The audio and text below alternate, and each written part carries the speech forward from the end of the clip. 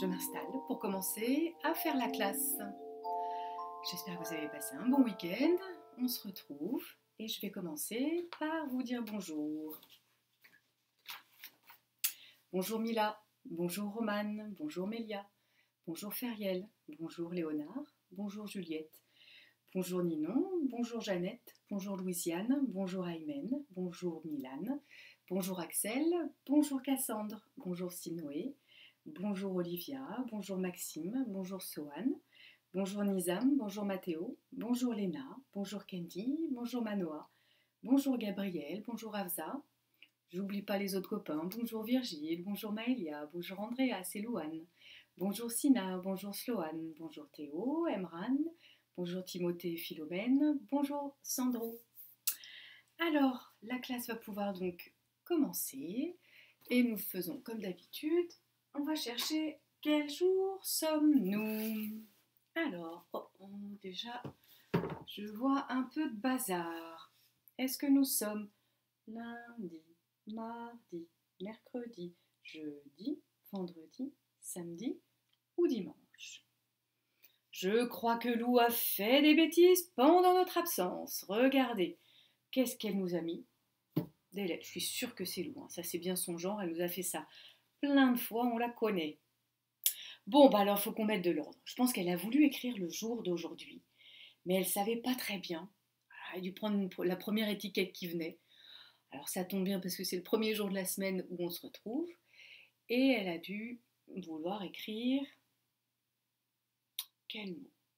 Alors, on va regarder les lettres et on va essayer de trouver si c'est mardi ou mercredi avec un M. Voyez-vous la lettre M? Mathéo, tu la vois? Hmm, Non, moi non plus. Jeudi, Juliette, Jeannette, vous voyez le J? Non. Vendredi? Non.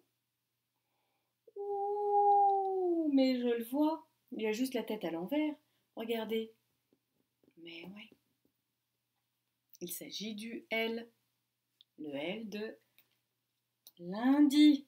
Bah voilà. Merci, Madame Lalou. Le U à l'envers. On lui met bien à l'endroit. Le N. Qu'est-ce que c'est que ce bazar? Hein? Monsieur avec son gros ventre. Bah, c'est monsieur qui a des grosses fesses? Oh on lui remet son gros bidou. Et la dernière lettre, le petit bâton bien droit, le I. Nous avons donc écrit lundi. Je prends l'étiquette. Je prends l'étiquette lundi, on en aura besoin tout à l'heure. Alors, lundi, on va aller chercher le numéro. Alors bien sûr, on n'est plus ce jour-là, ça c'était le jour de vendredi, la dernière fois où on s'est vu en classe. Donc ce jour-là, il est terminé. Je peux le mettre dans la poubelle. Mais il y a aussi samedi et dimanche où on n'a pas eu classe. Donc les petites feuilles, elles sont là. Le samedi 25 et le dimanche 26. Terminé. J'espère que vous avez passé un bon week-end. Et donc, l'étiquette est la suivante. Ah ouais, je retrouve bien le mot lundi. On va aller, oh, là, de plus en plus loin. Jusque là, le 2 et le 7. On est parti. Je me positionne bien. Et on suit la maîtresse. 1, 2, 3, 4, 5, 6, 7, 8, 9, 10, 11, 12, 13, 14, 15, 16, 17, 18, 19, 20, 21, 22, 23, 24, 25, 26, 27. Wouhou Aujourd'hui, nous sommes donc lundi 27, toujours au mois d'avril. C'est fait. Alors, la semaine dernière, on avait fait la comptine de moustache moustachu. Aujourd'hui, je reste avec un petit chat, même un gros chat. Et on va prendre sa main pour faire le gros chat. Ce gros chat, il dort. Il est bien tranquille. Attention, vous êtes prêts? Il va se passer quelque chose. Je vais même le caresser un peu, ce chat. Un gros chat gris dormait. Sur son dos dansaient cinq petites souris. Le chat les a prises. Tant pis. Oh. On la refait Mon petit chat, mon gros chat, que dis-je Un gros chat gris dormait. Sur son dos dansaient cinq petites souris. Le chat les a prises. Tant pis. Voilà, la petite comptine du jour. Alors, on est parti pour notre lecture du jour. La lecture, oh, elle va vous faire plaisir, je suis sûre, même euh, à Feriel, elle va être euh, à fond. Je vais vous donner des petits indices pour trouver euh, l'histoire qu'on va lire, parce que on a déjà lu une histoire un peu du même genre. Alors, derrière moi, vous avez vu, je suis allée dans la classe et j'ai ramené oh, le joli dessin, peinture, création de Léonard. Je le sais parce que je lis Le roi Léonard. Vous vous souvenez, on avait fait son costume carré, son initiale, le L, et on avait mis tous les, pas toutes les parties du corps pour faire un bonhomme, sans oublier la couronne, puisque c'est un roi. J'ai aussi ramené notre reine, la reine Léna, sur un beau quadrillage bleu. Là, je me souviens, j'avais fait la place de Léna parce qu'elle n'était pas là, donc il est très très beau ce quadrillage. Et voilà. Alors, ça, ça va nous donner un indice. Mhm, je vais vous laisser quand même Et vous pouvez aller d'ailleurs chercher si ça vous amuse. Un roi et une reine. Mhm. Ah, il y a plusieurs choses qui vont vous mettre sur les indices. J'ai des mots et j'ai des personnages. Vous avez vu mes petits Playmobil? Oh, Ça, je suis sûre que ça va vous plaire. Celui-là, je l'ai pris de la classe. Notre roi chevalier notre belle princesse. Notre belle reine, pardon. La reine, c'est la femme du roi. Ok. J'ai ici le mot reine et ici le mot roi. Alors, moi, je me souviens qu'on avait travaillé sur le roi et la reine parce qu'on avait Mhm. fait la connaissance de ce tout petit roi. D'accord? J'espère que vous vous en souvenez, je suis sûre que oui. Il était tout petit, tout petit, tout petit, et il rencontrait une reine, et ils avaient dix enfants. Est-ce que ça vous met sur la piste? Mhm. Alors du même auteur, waouh, je vais vous apporter ce livre. Et vous je vous montre bien, bien, bien le dessin parce qu'on voit qu'elle est très, très grande. Hein, sur la première de couverture, on voit la très grande princesse dessinée et le titre, hop, je le mets dans ce sens, il est, pardon, il est là. La très grande princesse. Et l'auteur, il écrit ici en tout petit, les petites lettres noires, c'est Taro Miura. Très grande princesse. Et si j'ouvre la quatrième de couverture, je découvre derrière une tour avec des créneaux en haut des tours. Ça, ça s'appelle des créneaux. Et les grosses tours font partir, bien sûr, partie pardon, d'un château. Alors, on va commencer cette, lecture. C'est une histoire un peu longue, donc on fait bien les petites règles, je vous les rappelle. Est-ce que vous êtes tous bien assis les mains bien tranquilles, les oreilles prêtes à écouter, les yeux tournés vers la maîtresse et bouche fermée. La très grande princesse. Il était une fois, vous me voyez bien, il était une fois un pays. Dans ce pays vivait un roi et une reine. Le roi et la reine adoraient les fleurs. Ils prenaient soin de leur jardin avec énormément d'amour, comme si toutes ces fleurs étaient leurs enfants. Une nuit, le roi fit un rêve. Dans son rêve, un messager du ciel apparut et dit Je te donnerai une fille. Demain matin, rends-toi dans le jardin que tu aimes tant tu y trouveras une petite fille adorable comme une fleur. Mais attention, elle est ensorcelée. Si tu parviens à la délivrer de sa malédiction, elle deviendra alors votre princesse à tous deux. Si tu échoues, ça veut dire si tu rates, ton royaume entier sera détruit.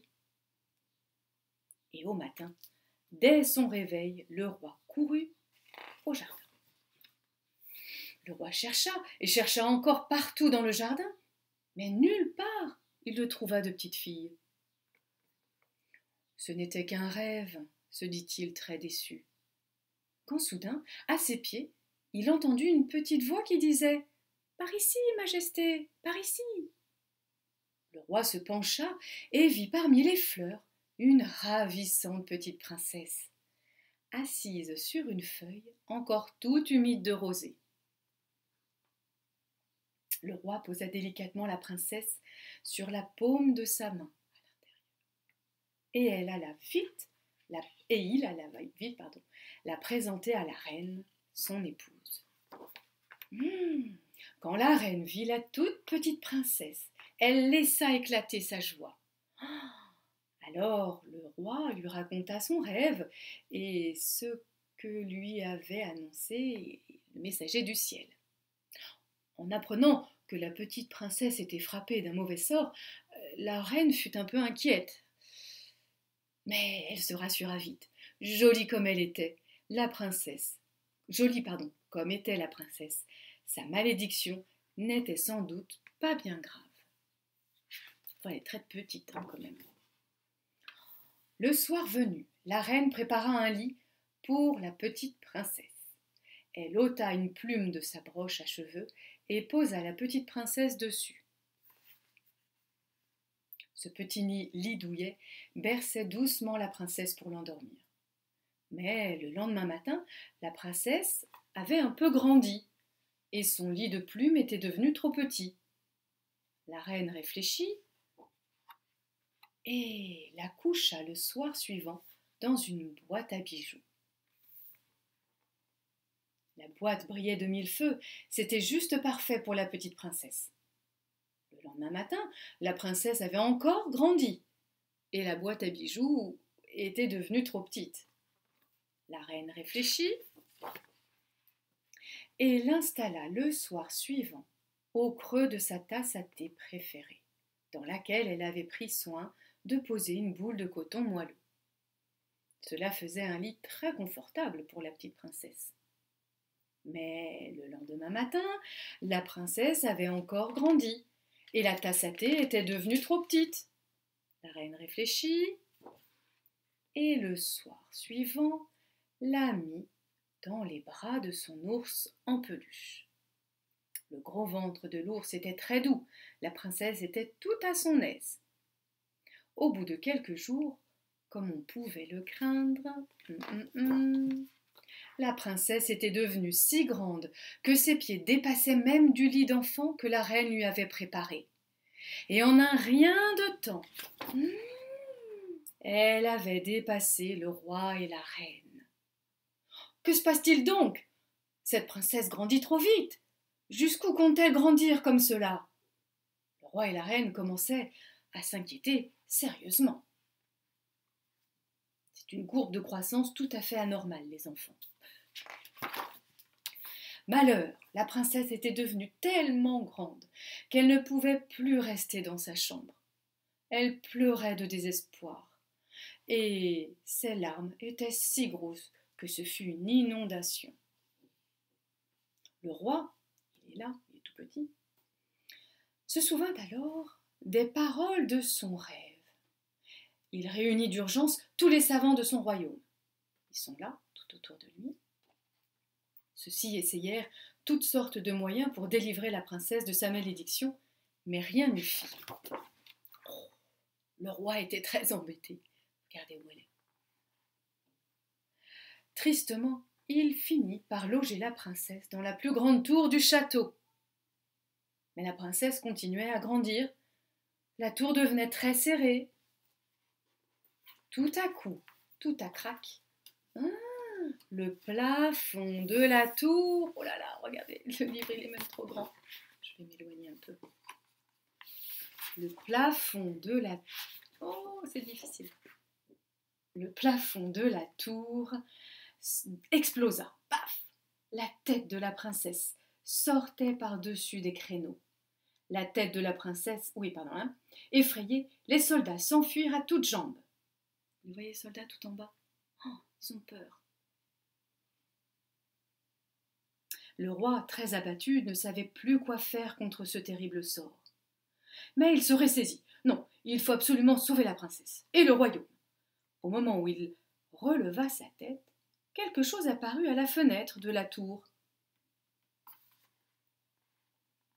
C'était le nombril de la princesse. Et dedans, le roi aperçut un petit objet noir. Là-bas, qu'est-ce que c'est? s'écria-t-il. Vite, les soldats du roi apportèrent une grande échelle. Le roi grimpa jusqu'à la fenêtre et tendit la main vers le nombril de la princesse. Au bout de ses doigts, il sentit quelque chose de coincé qu'il n'arrivait pas à attraper. La grande princesse riait parce que cela la chatouillait. Et en riant, elle faisait trembler la tour, qui risquait à tout moment de s'effondrer. Enfin, le roi réussit à détacher ce qui était coincé dans le nombril de la grande princesse. C'était une drôle de graine, toute lisse. Soudain la princesse se mit à rapetisser. Oh, ça y est, la malédiction est annulée. Le roi versa quelques larmes de bonheur. Depuis ce jour, le roi, la reine et la princesse vécurent très heureux. La princesse avait rapetissé, mais elle demeurait tout de même assez grande. Hein. Décidément, c'était une grande princesse. Que firent le roi et la reine de la graine trouvée dans le nombril de la princesse? Eh bien, ils la plantèrent dans le jardin du château, où elle donna des fleurs, géantes évidemment. Les habitants du royaume décidèrent d'appeler cette variété de fleurs la grande princesse. On la cultive encore de nos jours et tout le monde l'adore. Fini? Et si c'est fini? Regardez ce champ de fleurs géantes. Bon, il était bien ce livre. Super. Alors, on va travailler un petit peu, on va faire quelques activités maintenant. Je voulais quand même avant vous montrer ce que c'est qu'une graine de tournesol. C'est ça. Et effectivement, ça tient dans la main. Je vais vous montrer aussi. Alors ça, c'est des graines que j'ai achetées pour les oiseaux, des graines de tournesol. J'en ai plein là. Et donc après, le tournesol, ça donne cette fleur. Je vous la montre aussi bien près. C'est une grande fleur qui a une grande tige, très grande tige, avec des feuilles, un cœur et les pétales tout autour. Et c'est une fleur qu'on appelle le soleil, comme notre beau soleil là, vous l'avez vu parce qu'elle se dirige toujours vers le soleil. Voilà, elle dirige sa tête vers le soleil. Voilà, donc ça c'était au moins pour que vous sachiez à quoi ça ressemble. Et en vrai, j'ai une photo. Voilà, tournesol, ça donne cette fleur. Alors, aujourd'hui, nos activités, j'avais prévenu papa et maman, donc j'espère que vous allez être prêts à avoir tout ça sous la main, ou vous le ferez après à la maison, hein, c'est pas très grave. Mais on va faire des plantations. Et avant de faire des petites plantations, on va faire un petit jeu. Vous êtes prêts pour mon petit jeu? Alors, on a vu que la princesse, je vais vous diriger bien vers la table. Je vais essayer de me reculer un peu. La petite princesse, elle était toute petite au début, mais tellement petite. Alors, on va reprendre un petit peu le livre. Tellement petite que la princesse, la reine, l'a fait dormir dans une plume de loup. Ensuite, elle l'a fait dormir, vous vous souvenez, dans une boîte à bijoux. Vous allez regarder. Des bijoux. Ensuite, elle l'a fait dormir, parce qu'elle grandissait encore, dans sa, sa tasse à thé préférée. petite tasse avec sa soucoupe soit bien confortable. Et après, elle avait encore grandi, qu'elle a été dans les bras de l'ours en peluche. Alors moi, je vous propose de prendre Lou. Je pense que Lou, on va aller lui demander. Lou, Lou, dis donc, mais qu'est-ce que tu fais? Tu es en train de manger une glace? Oh, bah, C'est très très bon les glaces, oui, bon. Moi, je vais te demander, si tu veux bien, Lou, de venir nous aider dans notre histoire. Tu veux bien? Oh, oui, je veux bien. En plus, tu vas servir de lit très douillet. Oh, bah, d'accord, je veux bien. Je me mets là, je me mets en position de lit. D'accord. Hop, couche-toi. Je vais maintenant vous donner, vous montrer les petits personnages qui ont des tailles différentes, bien sûr, de la plus petite hop, à la plus grande. Voilà, je vais vous reculer un petit peu pour que vous voyez encore mieux. Et voilà, on a les petites poupées. Alors, on va aller chercher quelle est la plus petite des quatre. D'accord? Celle-là, c'est là tout petit, petit, petit. Pour aller dans la plume. Vous avez trouvé quelle est la plus petite princesse ouais, c'est celle-là la plus petite. Je fais un essai dans le lit. Oh oui, parfait. Ensuite, dans la boîte à bijoux, un petit peu plus grand, on va aller chercher donc la petite princesse qui va pouvoir dormir dans cette boîte à bijoux, de la taille de la boîte à bijoux. Parce que celle, oh non, c'est un peu grand. Hein. Là, elle dépasse. Et puis, oh, pile à la bonne taille. Hop, on va le mettre les bijoux. Bravo. Dans la tasse à thé, celle-là, ou cette princesse, vous avez deviné. Hop, parfait. Et Lou, waouh, la dernière un peu plus grande, qui fait, qui se met dans la tête de Lou. Oh ben, on la voit même plus. Attends, laisse-la respirer quand même, hein, Loulou. Voilà. Voilà, donc on a rangé du plus petit au plus grand, la plus petite princesse jusqu'à la plus grande princesse. Voilà pour le premier jeu. Maintenant, je vais vous proposer, comme de le faire à la maison aussi, de faire des plantations. Eh oui, alors pour faire des plantations, on va avoir besoin de petits pots, des petits pots en verre, on va avoir besoin de coton et puis de l'eau. Alors, qu'est-ce qu'on va planter? Vous avez une idée? Mhm. Nous allons planter des graines. Alors, moi j'avais bien envie quand même d'essayer de planter des graines de tournesol, hein, comme c'est celle qui était coincée. Voyez pas on va planter des graines de lentilles. On va planter des graines de pois chiches, des haricots blancs et puis des pois cassés. Si vous avez d'autres choses à la maison, ça ira aussi, ça sera très très bien. Pour faire nos plantations, rien de plus simple. Un petit coton que je prends faut que ce soit bien imbibé. Hein. Hop, voilà. Je mets au fond de mon petit pot en verre. Voilà. On fait tous les pots et puis après je mettrai les graines. Oula, quand il y a trop d'eau, on est. Il ne faut pas non plus en mettre trop d'eau, sinon, comme dans la si petite graine, elle va se noyer.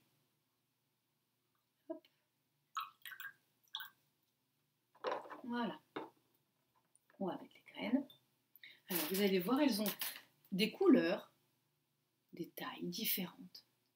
Alors, est-ce que la lentille va donner une tige verte ou pas Ou noire? Le pois chiche, ça va être jaune Le haricot blanc, il va être blanc On ne sait pas. Alors, je vais prendre quelques graines dans les mains et je les pose au fond Voilà, on peut en mettre pas mal, c'est petit. Ça, c'est fait. Ici, on va mettre des pois cassés. Ils sont un peu verts.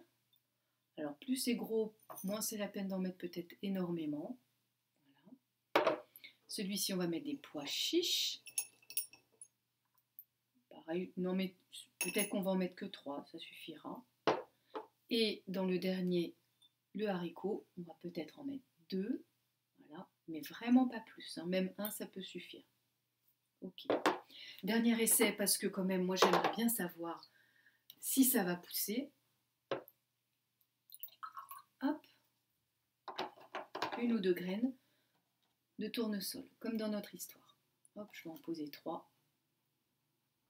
Puis on verra bien. On verra bien ce qui se passe. Voilà.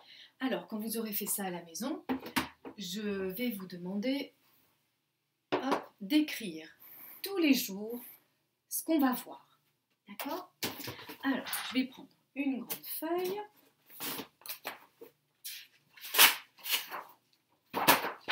Et ça va être votre petit travail de tous les jours pour qu'on sache un petit peu ce qui se passe tous les jours, justement, pour noter. Alors, est-ce que je vais les mettre ici? Comme ça, je vais avoir de la place sur le bureau.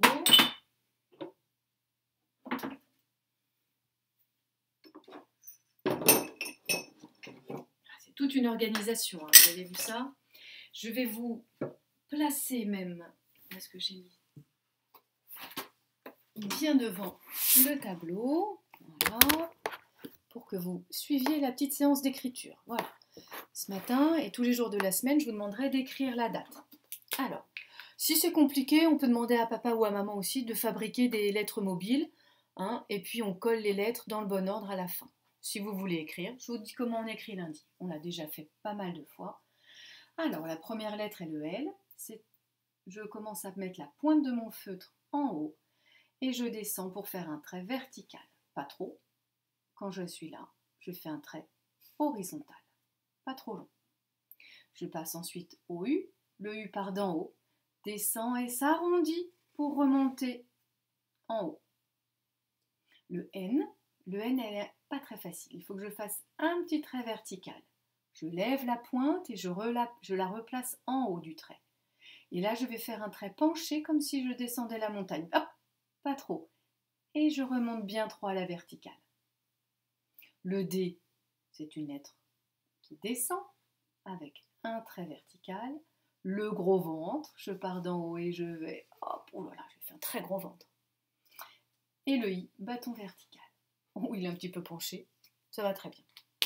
Et donc tous les jours, je vais vous demander, la même chose que je vais faire moi, de faire un dessin de votre pot. D'accord? Donc on va prendre le pot et on va le dessiner. Alors pour dessiner un pot, soit c'est papa ou maman qui t'aide, soit sinon tu regardes le pot, ça va faire un peu comme une forme de U. Je descends, je reviens, hop, je monte. Regardez, lundi. Voilà mon pot. À l'intérieur, on va dessiner, on va mettre une petite couche comme ça de coton. Et à l'intérieur, on dessine des petits points de graines qui sont mes lentilles. Voilà. Comme ça, on va pouvoir voir si demain, il se passe quelque chose. D'accord? Hop. Voilà.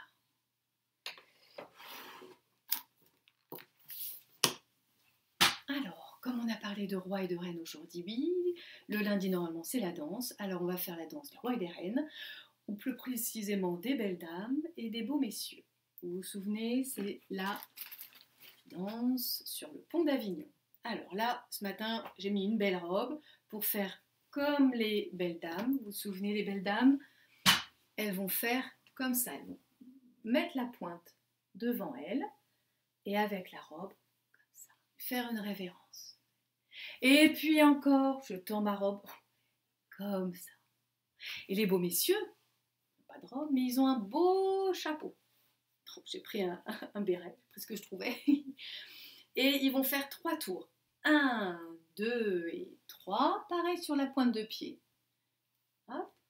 Et encore comme ça, sur la pointe de pied.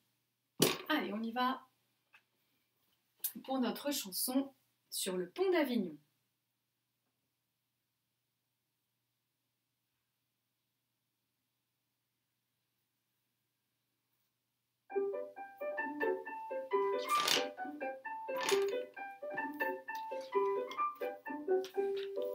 Le pont d'Avignon, on y danse, on y danse sur le pont d'Avignon, on y danse tous en rond.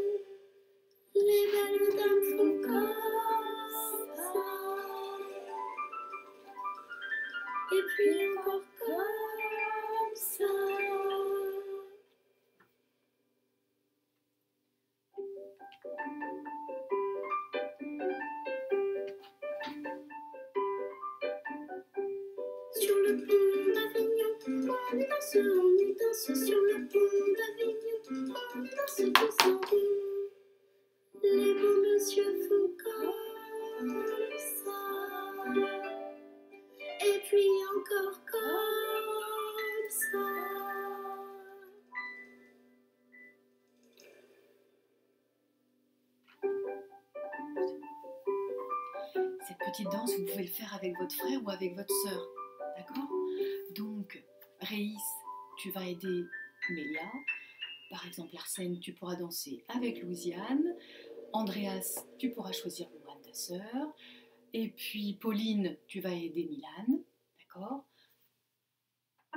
Comme ça, vous pourrez faire fille et garçon ensemble en vous tenant la main et en dansant. Voilà, la journée de classe est terminée.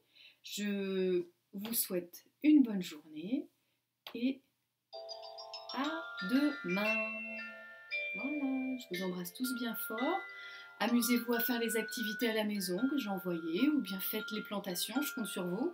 On va voir si demain il va se passer quelque chose dans nos plantations. Je vous souhaite une bonne journée et à demain.